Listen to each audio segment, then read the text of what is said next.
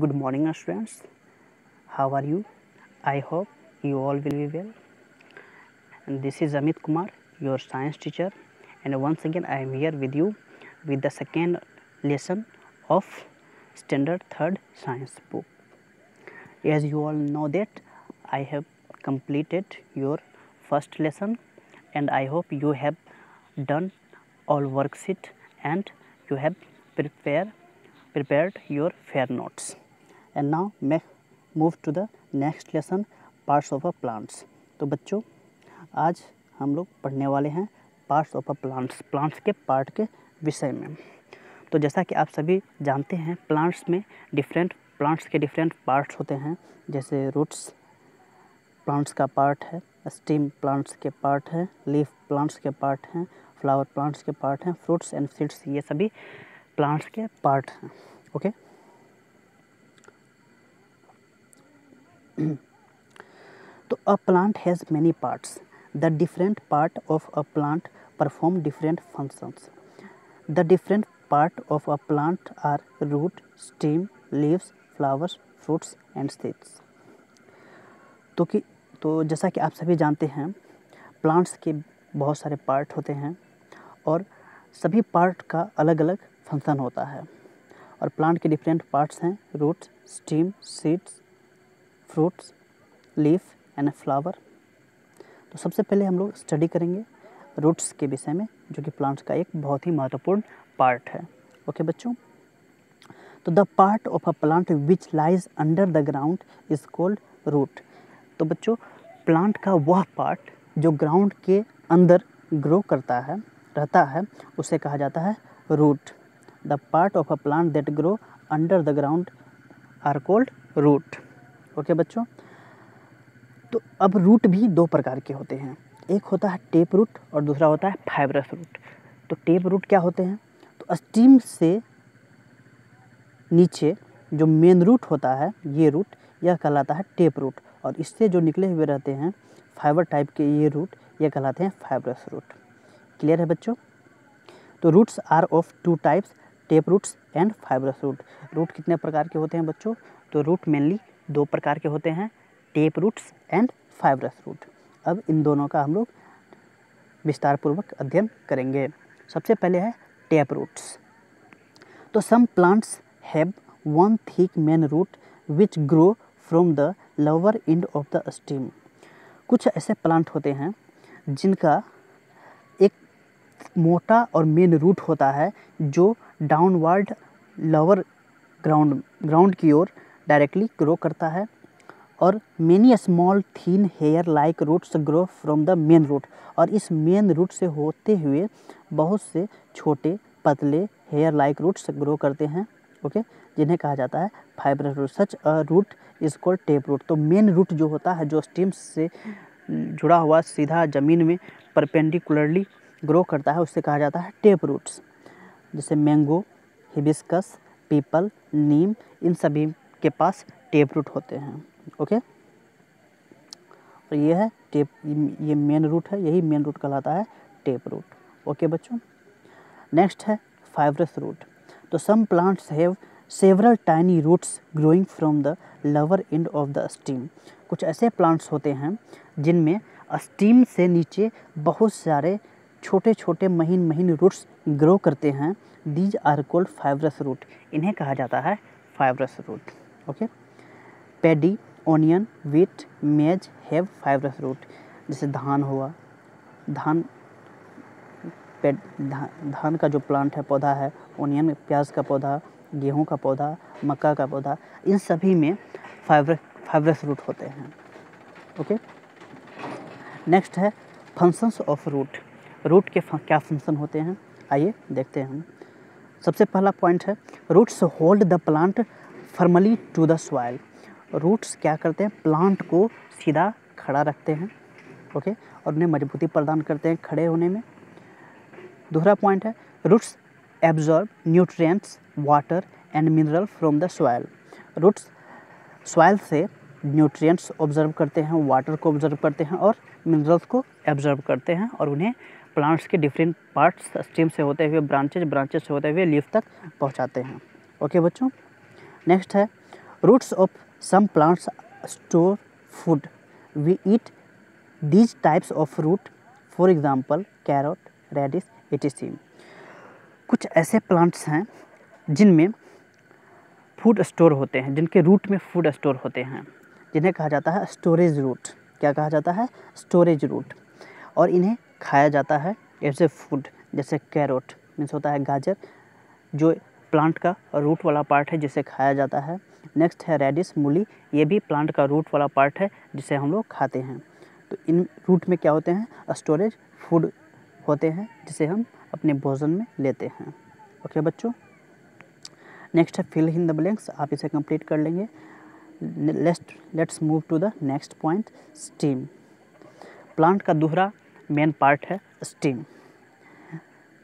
The part of a plant that grow above the ground is called stem plant का वह पार्ट पौधों का वह भाग जो ग्राउंड के ऊपर स्ट्रिक्टली ग्रो करता है, उसे कहा जाता है stem it holds the plant upright and carries water and mineral from the root to all the part of the plant तो स्टीम का जो काम होता है, यह प्लांट के प्लांट को सीधा खड़ा रखता है और यह रूट से वाटर मिनरल को प्लांट के डिफरेंट पार्ट्स में ट्रांसपोर्ट करता है, पहुंचाता है। Okay the stem of trees are strong and thick it is called trunk तो ट्रीज़ के जो स्टीम होते हैं, वह काफ़ी मज़बूत और मोटे होते हैं, जिसे कहा जाता है ट्रंक क्या कहा जाता है बच्चों? ट्रंक कहा जाता है। क्लियर है? The stem of a shrub is woody and thinner than the than of a tree तो जैसा कि आप सभी पहले पढ़ चुके हैं डिफरेंट टाइप्स ऑफ़ प्लांट्स जिसमें आप पढ़े होंगे tree herb shrubs climbers and creepers ये पाँचों मेन टाइप्स हैं प्लांट्स के, जिसमें आपने पढ़ा होगा सर्फ के विषय में। Shrubs are small and shrubs are small plants with woody stem it is thinner than trees इनका जो स्टीम होता है, वह ट्रीज से पतला होता है ओडी होता है हार्ड होता है स्ट्रॉन्ग होता है और ये झाड़ी नुमा पौधे होते हैं okay on the other hand the stem of a herb are weak soft and green इसी प्रकार हर्ब क्या होते हैं? बहुत ही स्मॉल होते हैं और इनका स्टीम जो होता है, काफ़ी सॉफ्ट और डेलिकेटेड होता है वीक होता है और ये ग्रीन होता है। जैसे आप सभी ने मिंट्स का पौधा देखा होगा। यह हर्ब्स का एग्ज़ाम्पल है, तुलसी हर्ब्स का एग्ज़ाम्पल है कोरिंडर मीन्स धनिया, ये भी हर्ब्स के एग्जाम्पल्स हैं। ओके। अब नेक्स्ट है, फ़ंक्शंस ऑफ़ स्टीम। स्टीम के क्या फ़ंक्शन होते हैं? तो stem holds the plant upright above the ground. Stem plant को सीधे खड़ा होने में हेल्प करते हैं, मदद करते हैं। The stem bears leaves buds flowers and fruits. Stem क्या करते हैं? पत्ती स्टीम से पत्तियाँ उत्पन्न होती है, ब्रांचेज उत्पन्न होते हैं, बर्ड्स उत्पन्न होते हैं, फ्लावर्स उत्पन्न होते हैं, फ्रूट्स उत्पन्न होते हैं। It carries nutrients and water from the roots to all parts of the plant stem क्या करते हैं? कि रूट से जो भी वाटर मिनरल आदि को प्लांट के डिफरेंट पार्ट्स में ट्रांसपोर्ट करते हैं, पहुँचाने का काम करते हैं।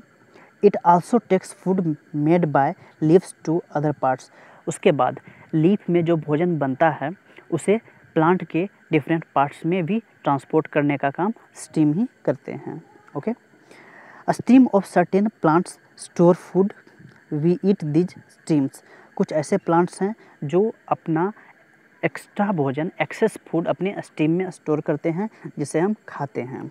जैसे में पोटैटो जिंजर शुगर केन ये सभी प्लांट के स्टीम पार्ट्स हैं, जिसे हम खाते हैं। क्लियर है बच्चों? नेक्स्ट है state whether the following statements are true and false ये ट्रू और फॉल्स है, जिस आपको बनाना है। बढ़ते हैं। नेक्स्ट पार्ट की ओर। नेक्स्ट पार्ट है लीफ लीफ मीन्स होता है पत्ता।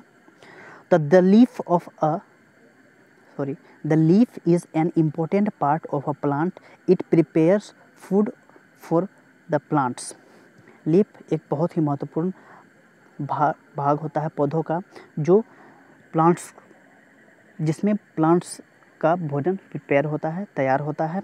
Thus the leaf is called the kitchen और the food factory of the plant इसलिए लीफ को कहा जाता है फ़ूड फैक्ट्री और kitchen of the plant okay बच्चों?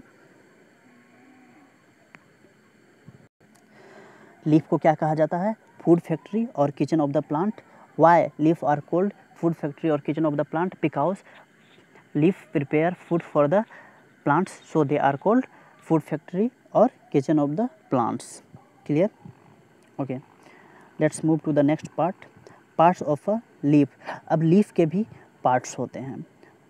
A leaf has flat and broad part called leaf blade leaf में काफ़ी चौड़े पार्ट होते हैं।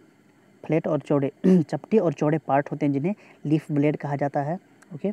The leaf blade is attach to the stem of the plant through a tiny stalk called petiole leaf blade जो होते हैं, यह attach होते हैं स्टीम से प्लांट के स्टीम से, एक पतले से स्टाल्क के द्वारा जिसे कहा जाता है पेटियोल क्या कहा जाता है? Petiole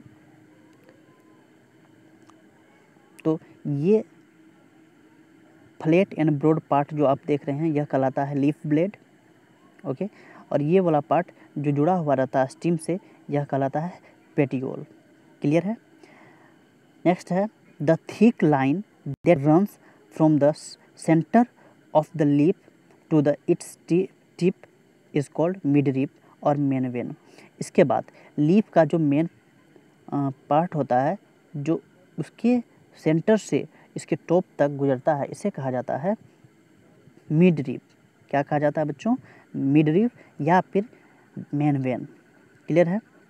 Numerous small lines arising from the midribs that run throughout the leaf called side vein इसके बाद midrib या मेन वेन से ये जो मेन वेन है, इनसे निकलते हैं पतले पतले बहुत सारे वेंस जिन्हें कहा जाता है साइड वेन क्या कहा जाता है? साइड वेंस क्लियर है?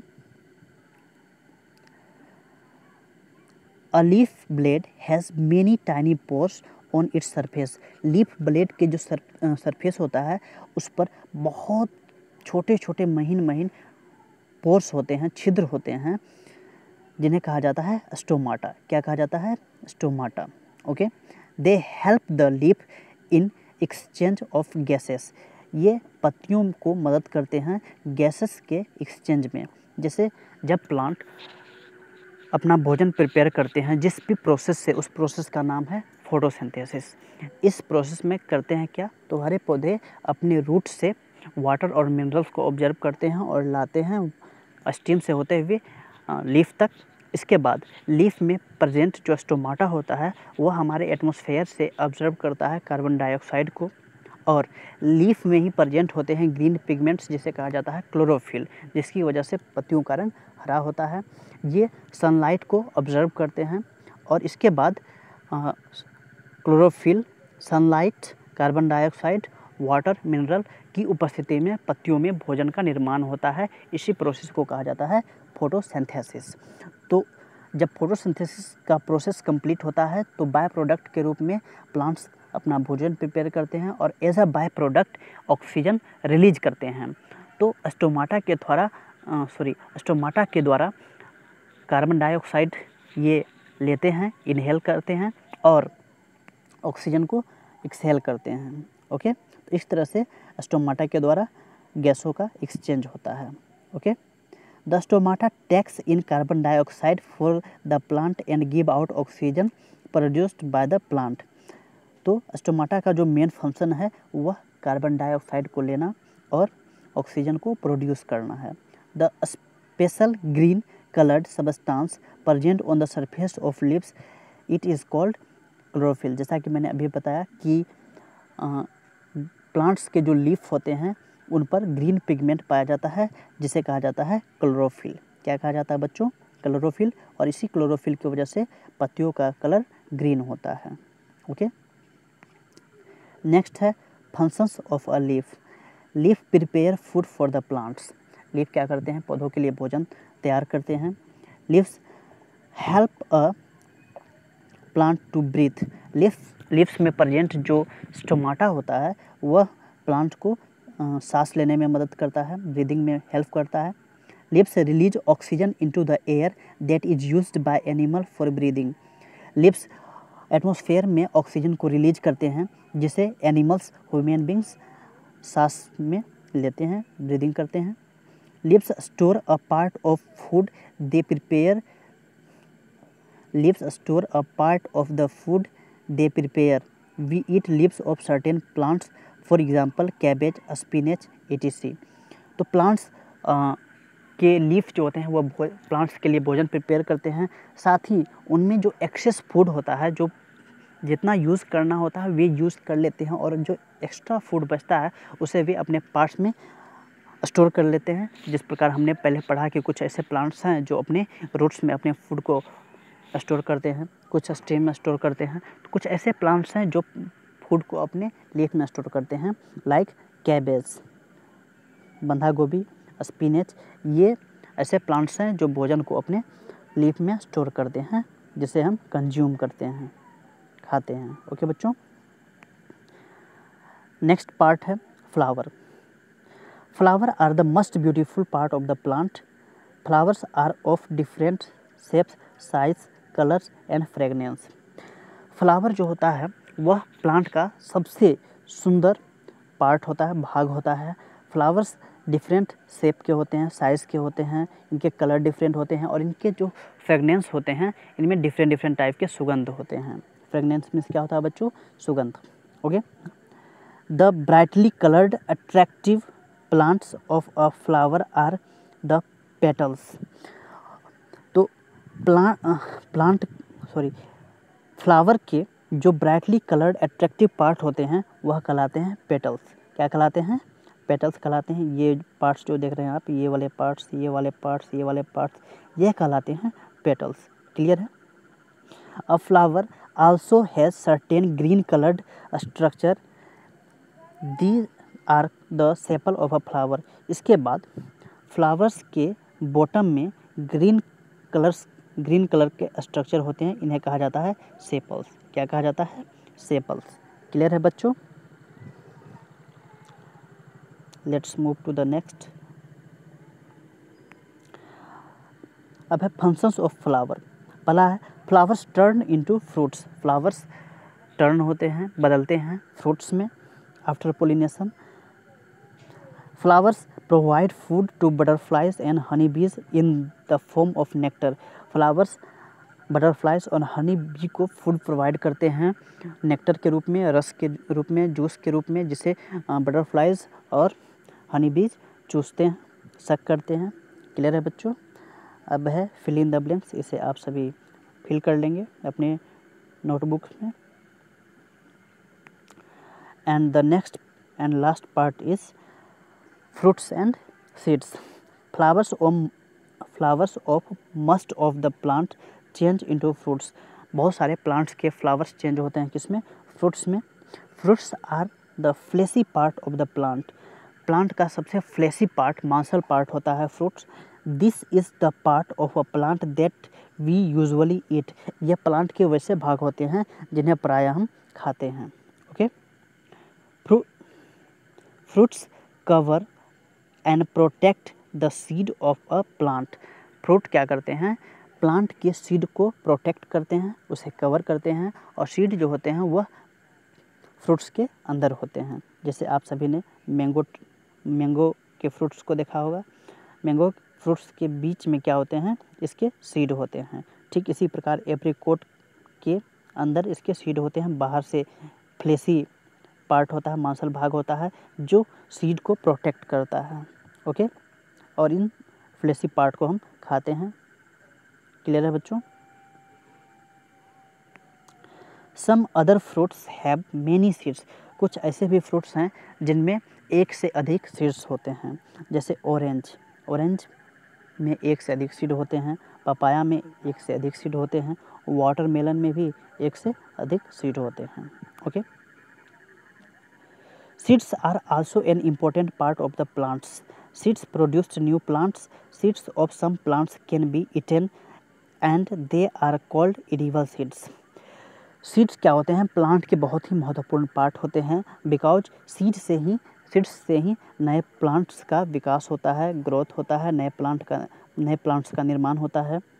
कुछ ऐसे भी सीड्स, कुछ ऐसे प्लांट्स होते हैं जिनके सीड्स को हम खाते हैं, उन्हें कहा जाता है इडिबल सीड्स।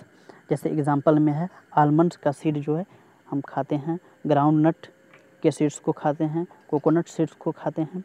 ओके बच्चों? The seeds of certain plants can not be eaten, they are called inedible seeds, कुछ ऐसे प्लांट्स हैं जिनके सीड को नहीं खाया जाता है। इन्हें कहा जाता है इन इडिबल सीड्स। एग्ज़ाम्पल में वाटरमेलन वाटरमेलन के सीड्स को नहीं खाया जाता है। मैंगो के सीड्स को नहीं खाया जाता है। चेरी के सीड्स को नहीं खाया जाता है। एप्रिकोट के सीड्स को नहीं खाया जाता है। इन्हें कहा जाता है इन इडिबल सीड्स। क्लियर है बच्चों? तो इस तरह से आपका लेसन टू आज फिनिश हुआ। मैं इस लेसन का वर्कशीट आप सभी को दे दूँगा। आप सभी वर्कशीट को कंप्लीट करेंगे और उसका फ़ोटो ग्रुप में सेंड करेंगे ताकि मैं उसे चेक कर सकूँ। और और उसके बाद मैं इस लेसन का सॉल्यूशन भी ग्रुप में दे दूँगा और आप सभी उसका फेयर नोट्स प्रिपेयर कर लेंगे। ओके बच्चों, मिलते हैं नेक्स्ट वीडियो में। तब तक के लिए bye take care and have a nice day